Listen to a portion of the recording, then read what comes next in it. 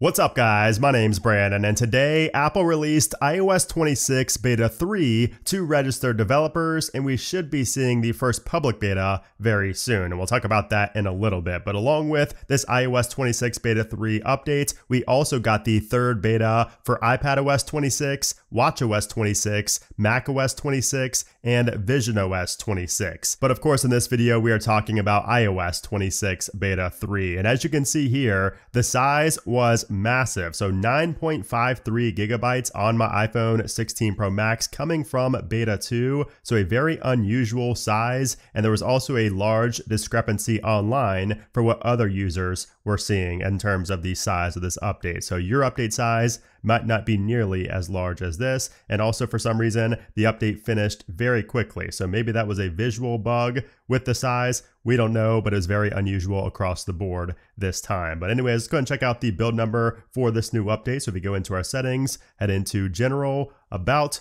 26. The new build is 23A5287G. So we now have a G at the end of the build number. And if we go back and then go down to the modem firmware, that is actually unchanged in beta 3. So it remains at 2.03.00, the same as in beta 2. Okay, so now what's new here with iOS 26 beta 3? And the first thing is going to be a pretty big change across the board with the liquid glass design because it has been toned down again with beta 3. So with beta 1, we saw like the original liquid glass that we saw in the presentation. In beta 2, it was toned down a little bit. And then in beta 3, it's been toned down a little bit more. So you can see this. Of course, you do have to look close for this, but that's what we do in these beta test videos. You will see that it's more of like a frosted glass now in beta 3 on the right. So throughout this video, I will have beta 2 on the left beta 3 on the right. You could see in the control center, it's just a little bit more legible now. So some people might like that change because it's more, you know, easy to read than it was before. Also, if you go to the notification center and you look at the notification center bubbles, you will see that the bubbles are now easier to read as well. So it's a little bit more dull, not as glass-like on the notification center and the control center. But if you want to see a big difference, go into the music application because here's where you can see quite the difference from beta 2 to beta 3. So if we go over to like library, for example, we go over this red, you can see that it's a lot more opaque now. There's a lot more opacity than there was on beta 2. If we go over to the new tab and we scroll up on these album covers right here, you can see how there's clearly more of that glass style in beta 2 than what we're seeing here in beta 3. So definitely toned down quite a bit and you will see that throughout iOS 26 beta 3. Also in Safari, you'll see a pretty big change in Safari as well with the address bar. So this one actually I think is a, a pretty good change because it was kind of hard to read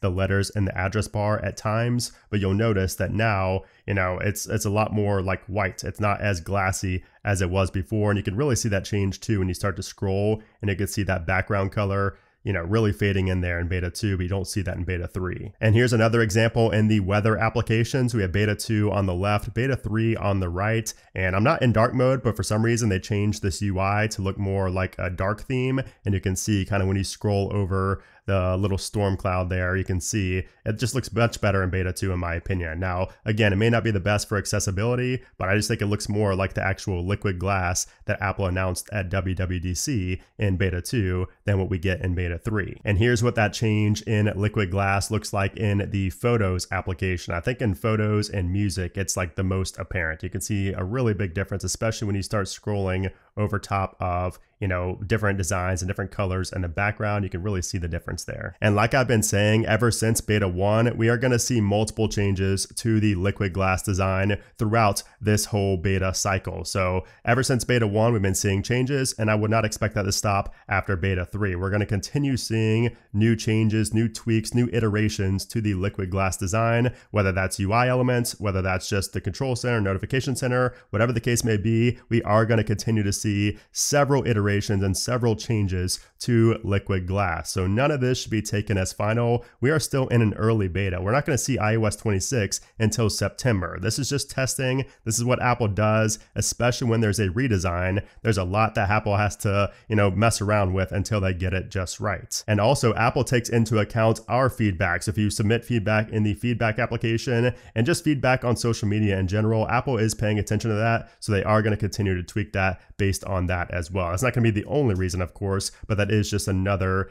area they are checking, especially the feedback application. So if you guys ever have any issues or ever want anything to be changed, make sure you submit that in the feedback application. That is your duty as a developer beta tester. And of course, same with public beta testers as well when that does get released. But interestingly, in the notes application, beta 3 actually looks better than beta 2. So if you take a look at the contextual menu right here, we have more of that liquid glass design in beta 3 compared to beta 2, which is interesting. So pretty much everything else is the other way around, but in notes, it's not the case. And actually, it's not just notes because also you have some pretty big changes in maps related to the liquid glass design. So first off right here, if you go to a business, you will see that underneath of the call button and the website, we now have the hours, the payment accepted, and the distance. It's now centered before that was left aligned. Also, it shows the distance now right here. It never showed that before. And you can see a subtle change to the liquid glass design down here in the bottom right as well. Again, it's more of like that frosted glass now, as you can see right there. And if we scroll down a little bit further, you can see that underneath of details, before it would show hours as kind of like a subheading under that.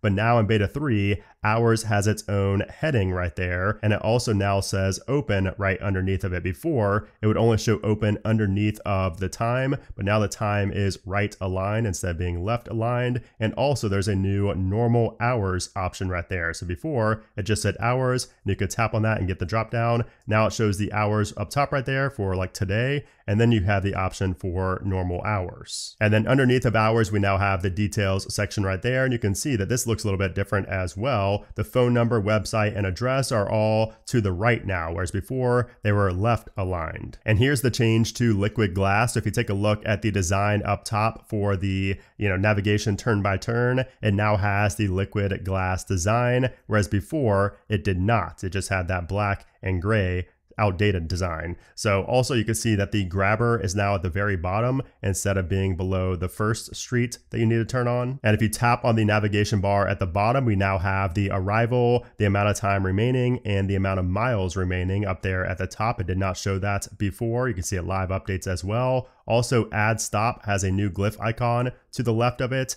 There's now share ETA. Report an incident has a new glyph and also voice controls has a new glyph icon. So small changes, but all of those are changed. Oh, and also the phone right here next to Lululemon is larger now than it was in beta 2. This update also adds some new variations of the iOS 26 default wallpaper. So if you go into your wallpapers and go down to iOS, you will see multiple new versions. So the new default is now called Shadow. So it's kind of a darker version of what we had before. I believe this was the original default. This one is called Sky. And then we also have Halo. And then we have my personal favorite, which is Dusk. So we now have all these options for the default iOS 26 wallpaper, which is awesome because it does adjust with the time. That's my main reason I love using this wallpaper. But yeah, so those are new here in iOS 26 beta 3. And while we're here on the lock screen, if you put your music in full screen to get the, you know, animated album artwork on the lock screen, if you go into that and then out of it, you'll notice that our widgets remain there. In beta 1 and beta 2, I've had issues with them disappearing. And of course, that was a bug, but that's been fixed here with beta 3. In the Safari application, if we go to the three dots right here and go to bookmarks, we have some minor changes here. So first off, up in the top right,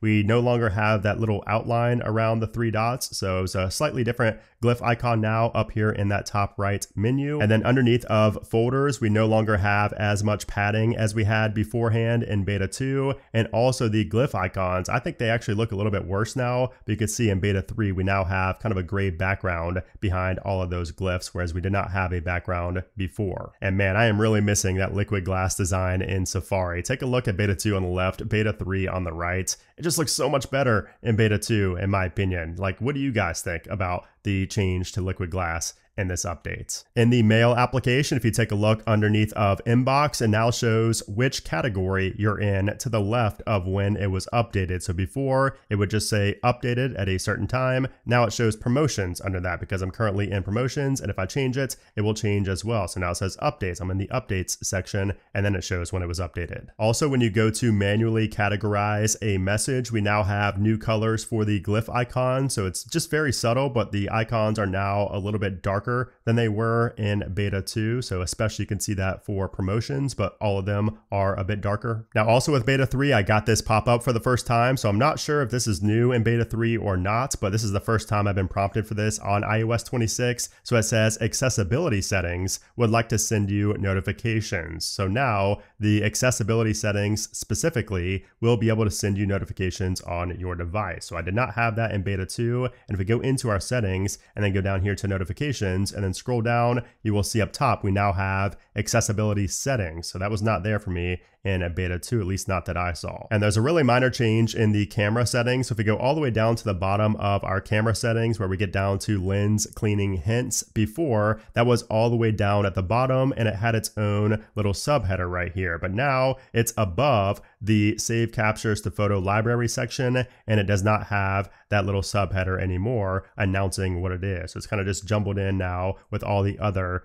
you know, features. Maybe Apple thought that was going to be a bigger feature than it was. Not sure, but that has been adjusted with beta 3. And if you take a look at the files application, the app icon has a slightly different shade of blue. So it's very subtle, but there is a difference from beta 2 to beta 3. Now, as far as bug fixes go in iOS 26 beta 3, first off, the dock bug has been fixed. So before in beta 2, where the icons would be left aligned after you went out of that, that's been fixed. You can see they now go back to being centered just as intended. Also, some users were having an issue in Safari when they opened a link in the background. So it opens that up in a different tab in the background. Sometimes people said that would freeze up their Safari application. That appears to be fixed here in beta 3. I've not had any type of freezing issues. Also in the messages application, if you have an animated wallpaper in the background, that appears to be better now in beta 3 in terms of it's not super stuttery like before. Even in beta 2, it was a little bit better, but there was still quite a bit of, you know, frame droppage going on. So I don't see that as much in beta 3, which is a good sign. And honestly, across the board with beta 3, we'll talk about this in a minute, but performance does seem to be better here in beta 3 so far, just from using the phone for a couple of hours. But we'll talk about that within the performance section. But before that, I do want to take a look at the release notes here because the release notes are quite extensive. And you can see that we have several known issues, but also a lot of resolved issues. So I'm not going to read off all of these. I will leave these down in the description below if you would like to read them, but there are quite a few resolved issues. There's only one new feature mentioned in the release notes, and that is related to developers and 3D modeling. So that's not going to apply to a lot of people, but that is something new I wanted to mention. And it looks like Apple has still not fixed the camera issues. So there's a couple of issues right here. So it says in some cases, the mode selection picker remains expanded after launch. That's a bug, but the bug I've noticed the most is this one right here where it says sharing a photo immediately after capture might take longer than expected. So that's still an issue with beta 3. But thankfully, Apple did fix the keyboard bug where it says sometimes keyboards are missing keys in first party applications. The keys are not visible, but users are still able to type over the missing key to use it. So that's been fixed with beta 3. And Apple also fixed the issue where wallpapers and posters with adaptive clock lose depth if you upgrade from beta 1 to beta 2. So if you had the adaptive clock, you know, losing its depth, that's been fixed. And there are quite a few other ones as well. Like I mentioned, I will leave this down below if you want to look through it. Okay, so now let's talk about the performance and the battery life with iOS 26 beta 3. So I've been using the update for about three hours at this point, and I have to say that so far it absolutely feels better than beta 2. So beta 2